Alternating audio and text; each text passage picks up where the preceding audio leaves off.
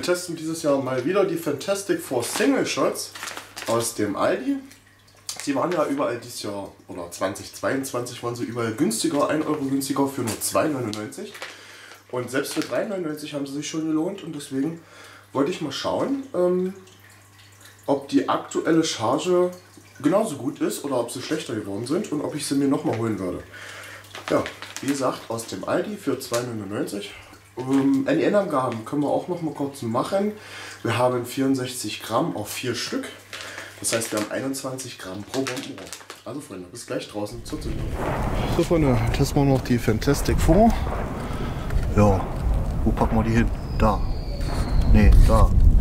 So, fangen wir mal an mit der 1.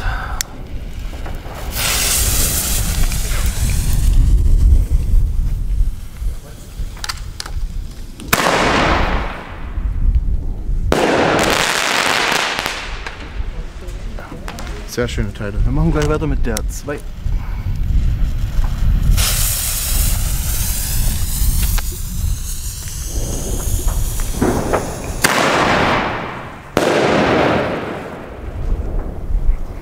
Auch schöne Teile.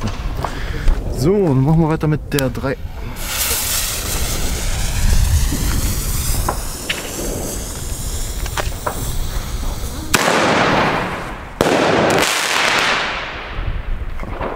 Und zum Schluss noch die 4, wenn wir sie finden.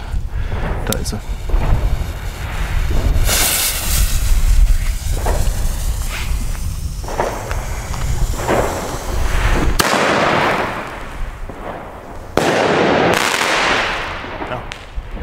Vier meiner Meinung nach am schönsten. Schreibt es mal in die Kommentare.